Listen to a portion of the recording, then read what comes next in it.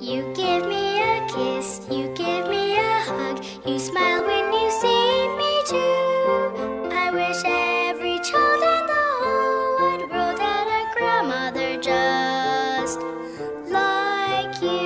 Welcome, welcome, everybody, to another episode of the Third Hour of Power.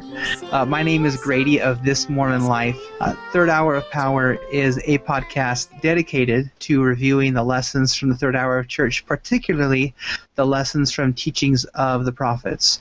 Um, this year, we're covering Ezra Taft Benson and 16, which is the elderly in the church. And I, uh, I invited back as my guests uh, James and Brian of 25th Month. And uh, I'm so glad they're here with us again. Thank you guys for joining us. Hey, this is Brian. We're stoked to be here. Uh, this is James. Thanks, Grady. Thanks so much for joining us. Why don't you guys tell us just a, a little bit about what 25th Month does and what that means? Yeah, this is Brian Hatch, co-founder of the 25th Month, and, and what we do is we help the transition home for those returned missionaries become a transformational experience. We want to help returned missionaries figure out all the things that get overwhelming when they get home, from career and education and marriage and dating and all those things that kind of pile up on us that everybody's asking us about. And we hold live trainings. We do online trainings, how to set this foundational uh, period of their life so that they can find happiness and success in life. And, and we just, we absolutely love the return missionaries. So that's what we do. So when I was uh, coming home from being a missionary, we kind of had like a, a, a dating, um, I guess a dating twist on the investigator statuses where, you know, as a missionary you had the finding pool, the teaching pool, and then the baptizing pool. Um, and then as dating, we had the you know we had the flirting pool, and then we had the hanging out pool, and the dating pool, and then there was like the one person that was in the engagement pool. Is there is that kind of the, the, the premise for the dating section? As long as you don't bring multiple people into that uh, engagement pool, you're you're in you're in the right frame of mind for sure. Okay, good, good. well, good deal. Well, th- this lesson again, it's uh, it's chapter 16, which is the elderly in the church, and uh, I was it was hard for me to, to kind of go over this lesson because it, it really does speak a lot to people that are elderly. Um, but there are some some key things in there I thought were really important. So if you're a if you're a teacher and you're struggling like with this, like I was, um, I think we're going to have some good things for you to in this lesson. And if you're a high priest, hey, you're going to be covered no matter what. Um, but I know Brian, we were talking offline. You said you had some really good insights on this lesson. Why don't you go ahead and lead us off? Yeah, well, I, I have a I have a special relationship with the elderly. If you, I I kind of hesitate to say that.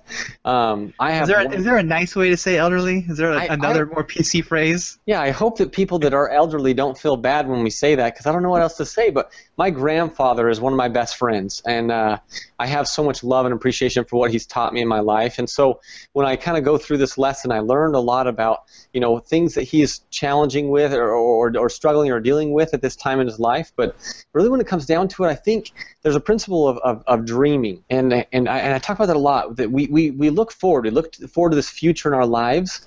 And what I loved about this lesson is is that's what it did for me. Even even though I, I, I get that I connect with my grandfather in this one, but for me it was like, all right, Brian, how are you preparing to get these things done? My name is Brian, by the way. But but how am I getting things done to make sure that when I get to this stage of my life, that these things aren't aren't such a struggle, or or that these things are just built in. I I, I worked on that from the get go, and so um, I just love that there's a list of, of items, and and uh, I'd love to hear your guys' feedback on the, on a couple of those items. But I really liked that. For me, it really got me to think forward and think about okay what do i need to do today so that those things that the that the prophet's asking of me when i'm that age um, are easy that's my thought on it anyways Yeah, this has been two weeks in a row with lists. I think we're really fortunate here.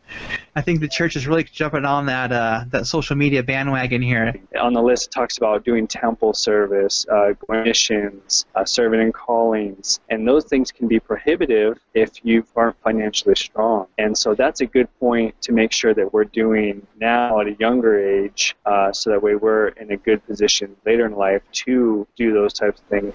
Yeah, you know, one of the things that me and my wife were talking about tonight Temple.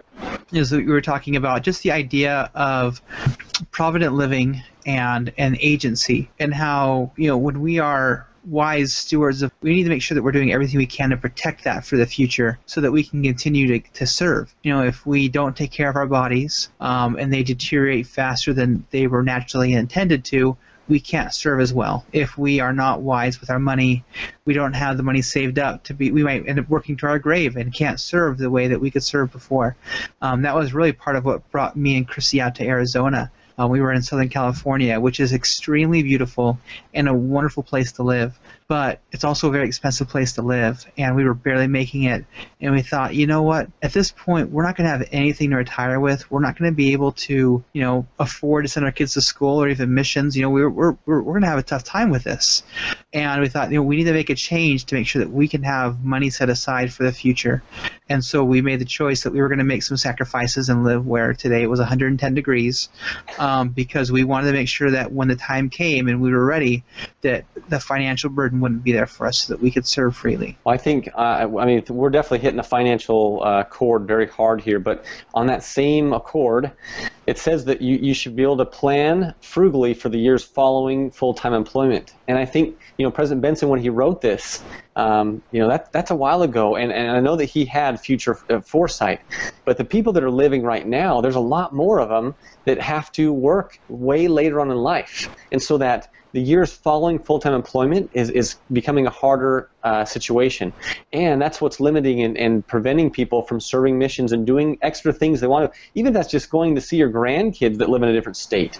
Um, there's a lot to, to, to figure out there financially, and I think that if you set those foundations at a young age, that you're you're rocking and rolling. I mean, and and one of the things that I really loved about this lesson, it talked about um, that we are that uh, elderly elderly. I feel bad about that. Is they're they're supposed to collect and write family histories. I think about that in my youth, in, in, in my age right now, or if I was a return missionary right off my mission, if I'm writing in my journal, I'm writing every day, how easy is that going to be when I'm 70, 80 years old to compile my, my, my life history, family history? Simple. But if you don't do it, it's it's like, oh man, I'm like 80 and I don't remember what I did when I was 12. I got no idea.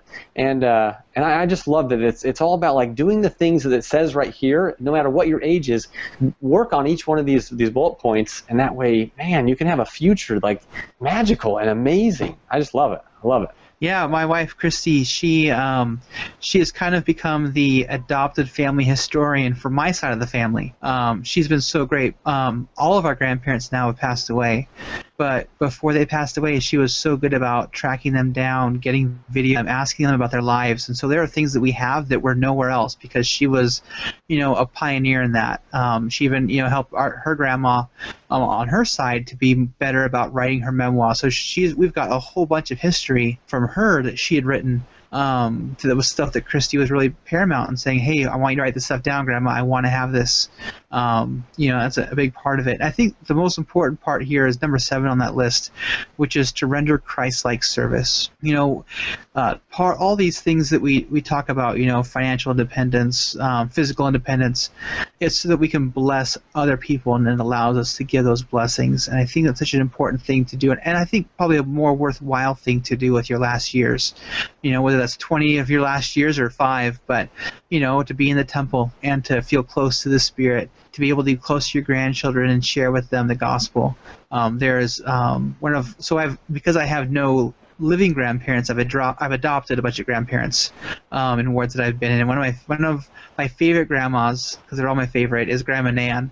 And I love that Grandma Nan, I think it's every Thursday, she goes to the elementary school in the neighborhood and just reads with kids. You know, none of her kids go to that school. There's no specific tie, except for there's kids in the wards there. But, you know, she just wants to go and just serve in her community. And that's something that she finds worthwhile. And it's a blessing to the community because she's been able to do that. And it's really about, you know, two parts. There's there's leaving a legacy in the, that will follow. And think of the impact that she's having on these kids. Um, my life, when people have done things to help me or serve me, and it really makes you want to be a better person. It makes you want to do good things for somebody else. And and at that you know at that age, you could have 20, 30, 40 years of life still to live where you're you're giving back to the world are doing great things. So absolutely, like rendering service or doing Christ-like things eh, eh, is such a powerful thing. Even at, at that age, especially, like who doesn't love a grandma or grandpa, you know, and, and appreciate their time? It's it's fantastic. I think if you get into your 60s and you're giving back and you're giving service back to the community, good on you. You've done the right thing. You've set up a foundation in your life that, it, that has made it awesome for you. And, and that's why, I, like I say, I, I focus on that, that 20 year old. That, those are the most like selfish, not in a negative light, but a selfish decade of your life is figuring your stuff out. So that when you're 60, 70, 80, I mean, at a minimum, hopefully much b- before that, but at least at those period of time, like the lesson states, you can be doing these things of giving Christ-like service. That, that's the top. That's the cream of the crop you don't you don't get any better than that. And and if you prepare and and are ready for that stage of your life, it's going to be awesome. And if you're not, man, you're gonna be working until your fingers are bleeding. I mean, it's it's just gonna be rough. And, and that's why I have such appreciation for those that have set such good examples for me, and uh, and really working hard and and creating a, an elderly life of, of joy. Yeah. yeah. and in section five in the manual, it kind of helps give us direction too of how we can show love and also to care for those who are um, advanced in age. And um, and I, and I love it. One of the things it says here is it says we encourage families to give their elderly parents and grandparents the love, care, and attention that they deserve. And I think it's so important that we, you know, we honor and respect um, our parents, our grandparents, um, and even those who maybe we've adopted, you know, whether that's the widow in the ward that maybe doesn't have family that lives nearby, um, or just the person is, you know, that's older that you're just really nice. there was a, a thing that Christy did. My wife Christy, she was with the young women, and I don't know how it got started um, in the ward to just go there and give her service and you know and to be kind to her. And it was such a neat thing because Christy and and, um, and this woman they became friends, and she always you know she talks to me and she just says you know I even though we're like 60 years apart, you know, 50 years apart, I mean, I think of her as Heavenly Father sees her that even though there's a big disparity in age right now, when we get to the other side of the veil, we'll be the same and we'll be best friends and it will be great. And so it's just the idea that think that, you know, we're eternal. You know, we're all in different ages. You know, there's babies, there's kids, there's adults, there's older people, there's middle aged people. And sometimes that causes some rift, but we need to make sure that we're focusing on what we have in common and the fact that we're children of our Heavenly Father and that He loves us and He wants us to be happy and that we should be doing things to make sure that help are getting it to make sure that we are able to lighten their burdens. Totally agreed, man. Well said. All right, is there anything else you guys want to add to the lesson this week? You know, for, for me, I just, it, it reminded me of a sister um, growing up in my ward who was elderly, and she was our door greeter, and she would do it with so much of an enthusiasm every Sunday. You were excited to walk in there. She'd give you a big old hug and shake if she could and big smiles and it really made you feel very welcome walking into that church building and and she loved it and she loved people and she made an impact for what felt like warmth and home and unity. And so even just even the little things uh, make a great impact of, of her. And and uh, I remember at a certain time she got to a point where where uh, she couldn't care of herself and the ward jumped right in to make sure she was taken care of all, you know, for her needs because they just remember all the great things she did. Now regardless if they do that or not you, obviously you want to serve and help but what a great impact she had in, uh, of love and kindness in, in her life. Yeah, well, it certainly makes it easier, you know, to show love to people who have showed love to you. Um, well, certainly. Well, I appreciate you guys for joining us um, this week. Um, why don't you guys take just a moment just tell us a little bit about more about the 25th month and what you guys do, and if you guys have anything else coming up soon.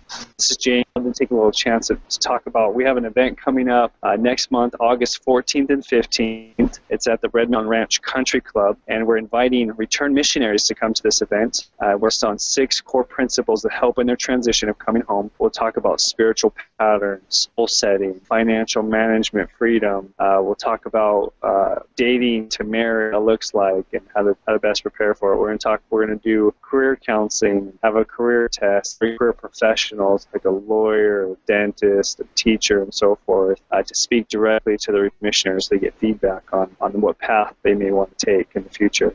We'll also have um, profess- uh, professional development discussions too on how to improve themselves and become them best, their best. And so this this is an event that we're excited to provide for the return missionaries. Our event is on August 14th and 15th. If you would like to gift a, seat to your return missionary, someone in your life that you love and appreciate, and want them to get foundations set in their lives when they transition home, uh, go to 25thmonth.com, 25th month, M-O-N-T-H.com. You'll be able to find the order there uh, and be able to jump on and uh, and enter in a special promo code just for Grady's listeners. We, we love Grady and what he's done for, for the church and otherwise, and uh, and that's bring my friends plural, but that's all lowercase, and that way you can get a, a, free ticket to the event, which is ridiculous. So we're excited to have everybody there. But anyways, we, we love you guys. Thank you, Grady, for having us. Yeah, you bet. Plus it includes lunch, so you can't yes. go wrong there. now, for people that are outside of the East Valley, um, or maybe are listening to this on Sunday morning before it's shared, so they've missed it. What's one other thing they should look for on your website? We have video trainings that go over goal setting, that go over dating and marriage, that go over um, financial freedom. We have different uh, video trainings you can find at our website as well. And we've, we've done a thousand surveys of, of return missionaries to find out what is going on in their lives. And it's very, very interesting the, the stats that we've, we've found. You can go to our website and download those as well. So um, check us out, 25thmonth.com, and you'll be able to find all the links there. Awesome. So, yeah, if you're a stake president or you're a bishop and you've got um, elders or, and sisters that are coming home from missions, you want to know how to best help them, uh, that's a great resource. I was reading the surveys and I was surprised at some of the results of you know what is what is causing some of our missionaries to go inactive, and uh, it's important that we're proactive on how to prevent that from happening. So Brian and James I love you guys on, and uh, I appreciate it. And um, thank you guys for listening. We are we're really lucky that we have been able to do this for you guys. I love it because um, I get to be kind of the uh, the goody two shoes in elders quorum. People will ask, you know, the teacher will ask who read the lesson, and I'll sheepishly raise my hand. I read it um, and, I, and I feel embarrassed. But you know, it has helped me to get more out of the of the lesson, being able to prepare, and I hope we're doing the same thing for you guys. Also, you guys can check out our benefactors this week in Mormons, where you can learn more about Sunday School. Um, it's called Sunday School Bonanza, and there they talk about the Sunday School lesson. And this week or this year is awesome studying the New Testament, and as we start to get into the epistles, it's going to be a big help for you guys. So, on behalf of Brian and James, my name is Grady of This Mormon Life. That is this-mormon-life.com. And on behalf as well, our benefactors, This Week of Mormons. This has been the third hour of power, and until next time, we wish you all a fond adieu.